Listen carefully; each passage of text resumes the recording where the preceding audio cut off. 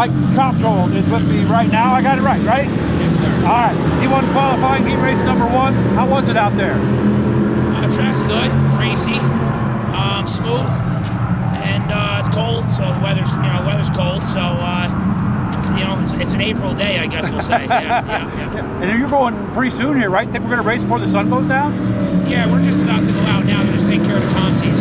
Okay. Yes. The track's changed a lot. I noticed yeah, in these consies. Yeah, it's, it's definitely blowing off now. So lack a bite, for better words, you know. Okay. Yes. So without telling me too much, and also realizing nobody's going to see this tomorrow, what are we doing to adjust for that? Uh, just tighten up a little bit. Uh, tire tire work mainly.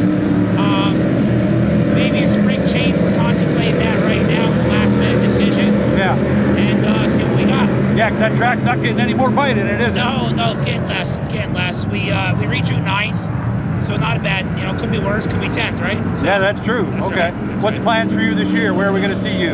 Uh, here Friday nights. This is our home track, Utica Rome, and then uh, short track Super Series and uh, the Super DIRTcar Series Big Blocks. Oh, we'll see you on that tour too. So we got another car, obviously. Uh, we have a few, yeah. We got a few. Okay, Yeah, yeah. so it's going to be a busy year. It is. 80, I think we have 85 scheduled. Wow. Well, it sounds like I'll be seeing you a lot this year. So, Oh, again, look for this car here. It's the number 28.